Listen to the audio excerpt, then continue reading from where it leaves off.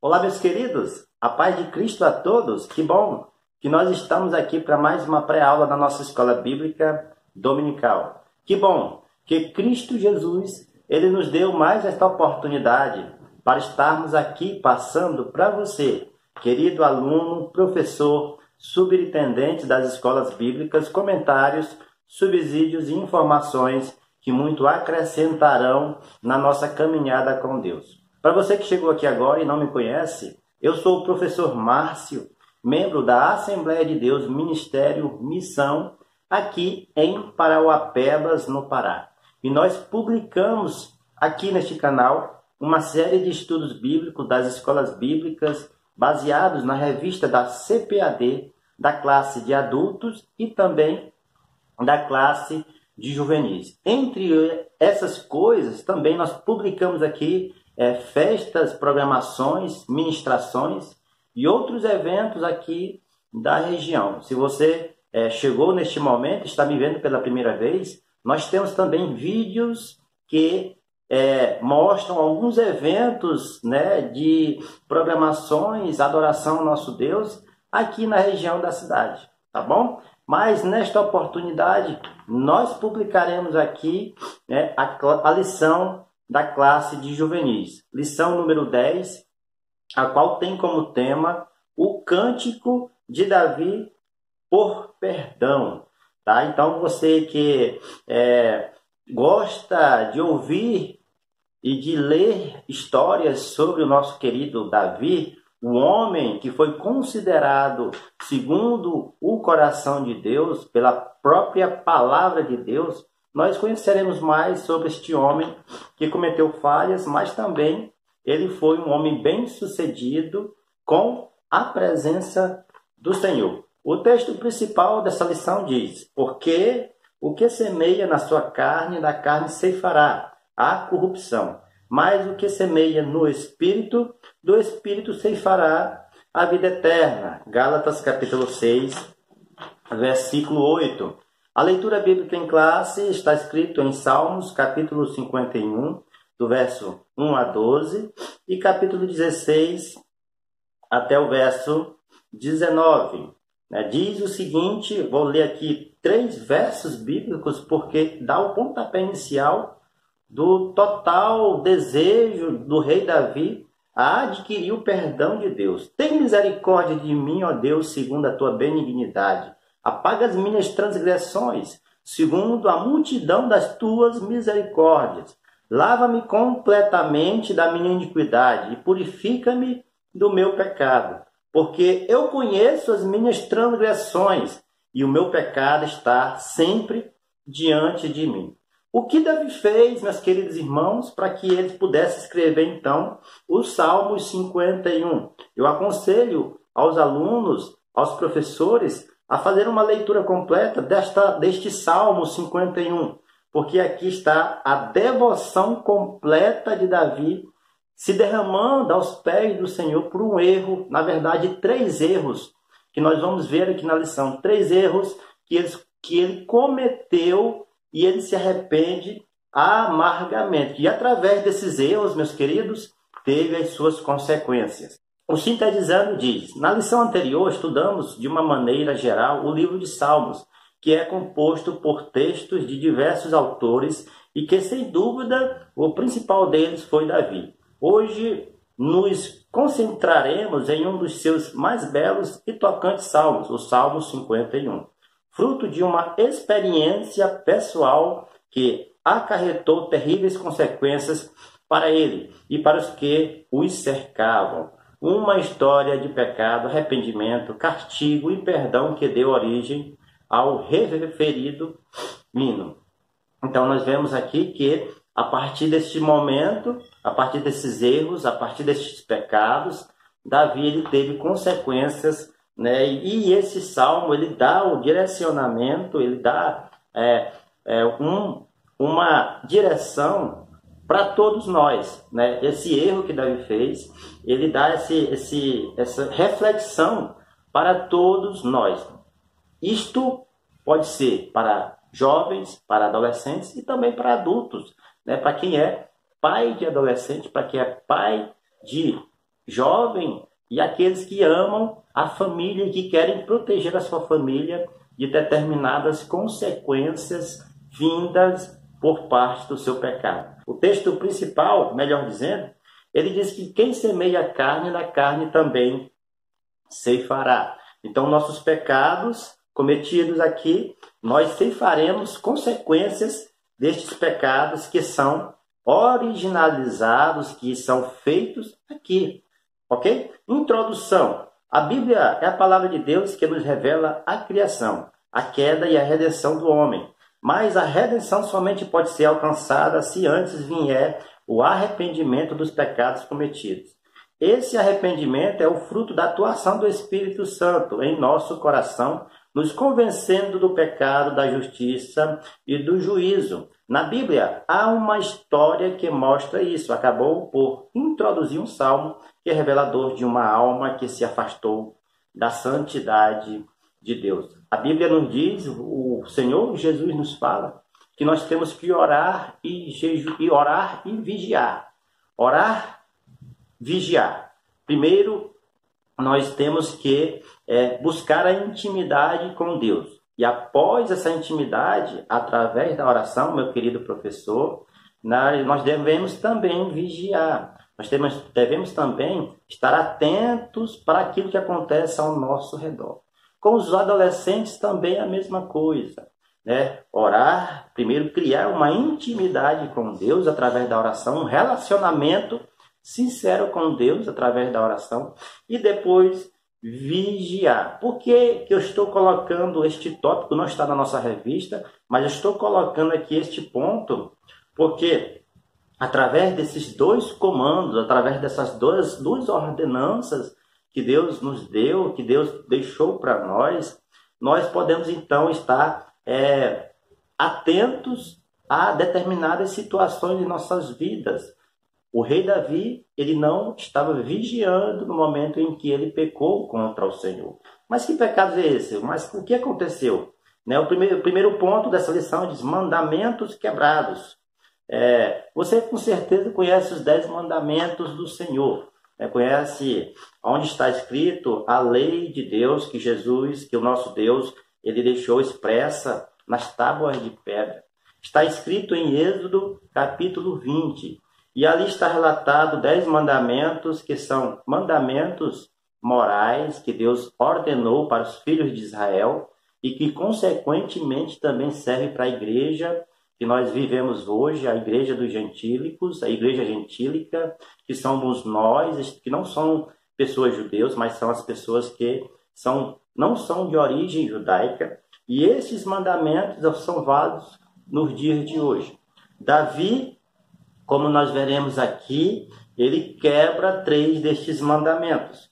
Três mandamentos são quebrados neste momento. O primeiro mandamento que ele quebra é o décimo mandamento. Está escrito em Êxodo, capítulo 20, versículo 17, que é não cobiçarás a mulher do teu próximo, nem as coisas do teu próximo, nem o gado, nem o boi, nem as fazendas, nem os objetos. Por exemplo, meu querido aluno, né, que você que está me assistindo, não pode cobiçar a bicicleta, do skate, né, o, o patinete do seu colega, porque isso é um mandamento que pode ser quebrado diante dos olhos do Senhor. Não cobiçarás. E com certeza Davi, ele comete esse adultério, esse, este, esta quebra deste mandamento, porque a Bíblia nos fala que ele, né, os seus soldados estavam em uma guerra e ele ficou no seu palácio.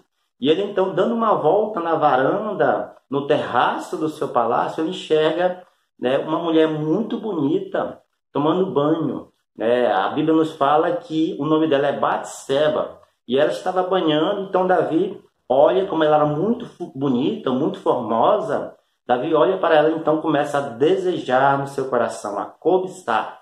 Neste momento, este mandamento é quebrado né, por Davi.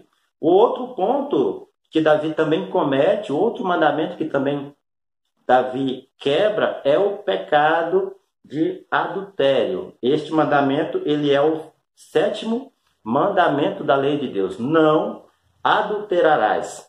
Davi, então, após esse momento, que enxerga, que vê essa mulher bonita banhando, Davi, então, desperta o interesse de saber quem é.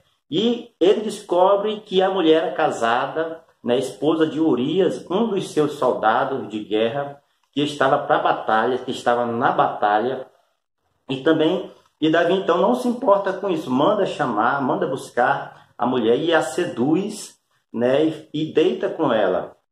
Né? Então comete um pecado aí de adultério.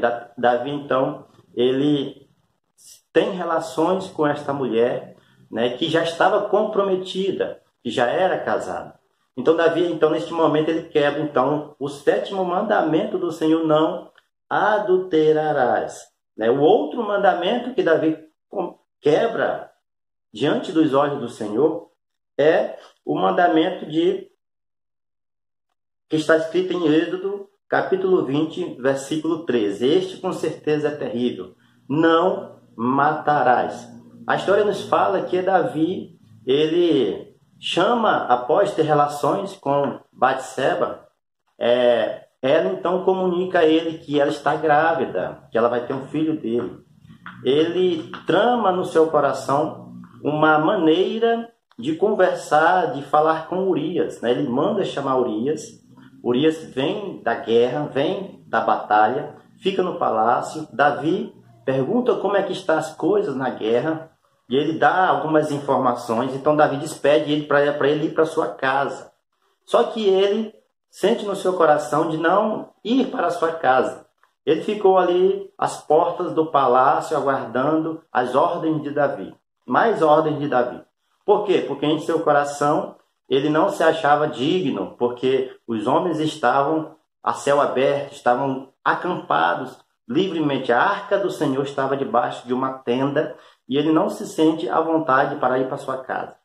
Então, Davi, percebendo que ele não vai para sua casa para poder esconder de maneira assim muito planejada a gravidez, então Davi ele manda Urias de volta para a batalha, para a guerra, e com ele manda uma mensagem para o, para o líder da guerra dizendo que era para colocar Urias em um ponto estratégico com os maiores valentes da guerra, para que Urias pudesse ser morto e então Davi é, se apoderar, ter, é, as, tomar a mulher de Urias para, para si. Então isso acontece. Urias ele é colocado num ponto estratégico em que ele sofre a morte, em que ele vai para a batalha e os valentes daquele, naquela batalha mata Urias e ele é colocado naquela situação porque o próprio líder da guerra, o representante daquela guerra, sabia que ele era um ponto que, mesmo o soldado sendo valente, ele não conseguiria escapar, porque era muito perigoso. Então, por, por esta situação, Urias morre, Davi toma sua esposa, né? Só que nós vamos ver aqui que o segundo ponto fala que Davi, ele esconde o seu pecado, só que ele é desmascarado. Davi então recebe uma visita do profeta Natan. E o profeta Natan, ele faz uma comparação, isso joga um paralelo para que Davi pudesse então cair em si do seu pecado. Natan, ele fala que tinha um homem rico e um homem pobre. E este homem pobre tinha um cordeirinho. E este cordeirinho para ele era tudo que ele tinha, ele cuidava muito bem, colocava no colo, banhava, cuidava e tudo mais. Então vem o Senhor e toma o cordeirinho do homem pobre e dá para o homem rico.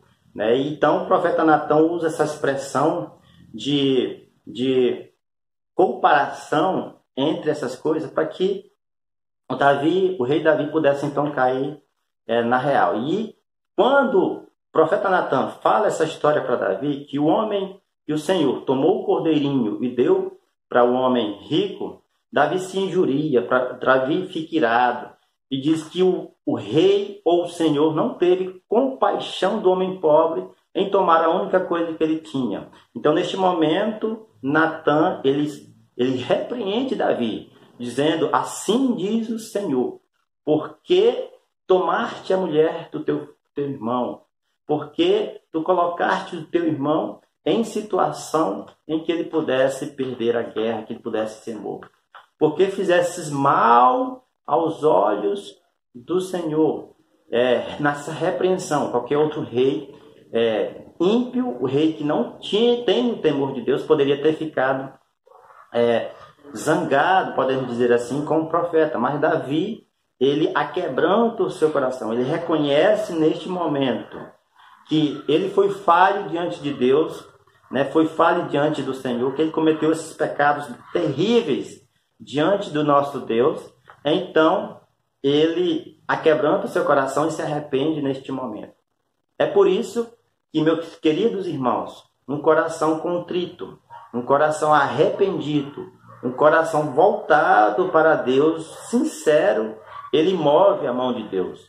Ele move o perdão de Deus sobre a sua vida. Você, meu querido professor, estimule isso para os seus alunos, que eles precisam ser sinceros acima de tudo, diante do Senhor, nas suas orações, na sua devoção, no momento em que eles vão cantar, no momento em que eles vão falar de Deus, nos momentos em que eles vão evangelizar ao Senhor. Eles precisam ser sinceros e ter um coração aquebrantado para Deus, que Deus então, com certeza, eles mandará tudo que eles precisam, porque o coração, Deus não resiste um coração aquebrantado. E diante do pecado, da mesma maneira, o arrependimento sincero é quem faz você alcançar o perdão de Deus. O terceiro ponto fala um salmista quebrantado. Diante deste quadro triste, Davi renasce espiritualmente e escreve um belíssimo salmo que retrata o seu clamor pelo perdão de Deus. O Salmo 51.